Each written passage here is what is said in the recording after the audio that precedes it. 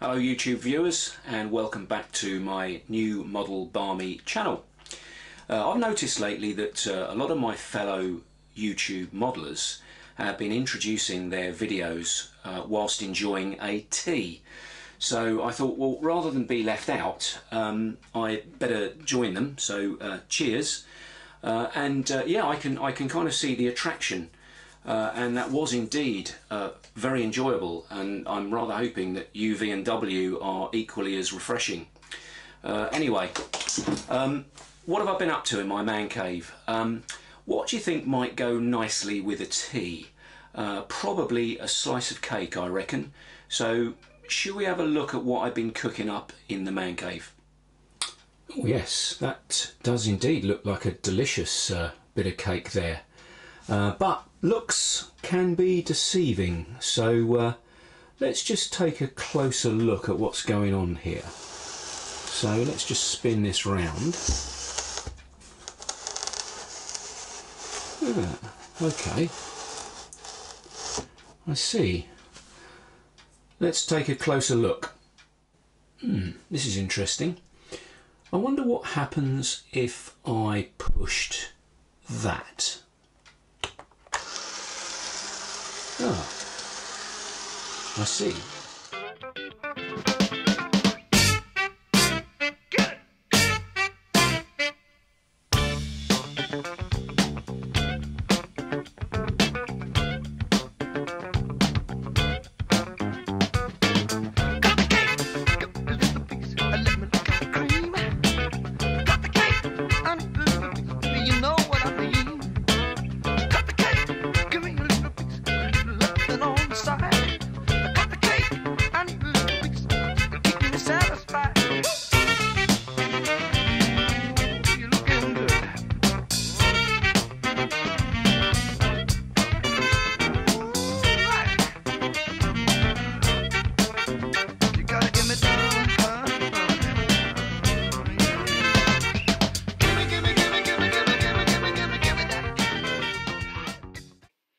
Okay, so we've had our fun. Let's have a look at this layout in a bit more detail. So this is Peco narrow gauge flexi track at about 120 mil radius. And this was built to run my little 009 loco that the guys at Budget Model Railways gave me to build and review. So here you can see I've made some uh, wagons from Peco chassis with um, coffee stirrer bodies.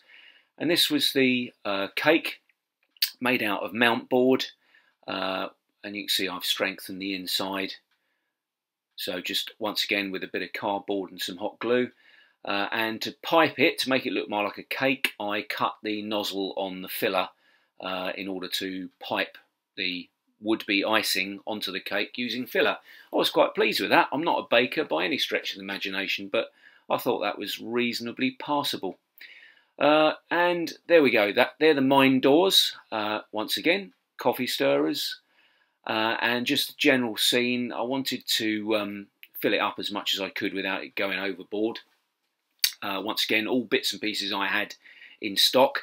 Uh, this build cost me about 17 quid overall. So that was for the track, uh, the bulldozer, as you can see there, um, and the figures.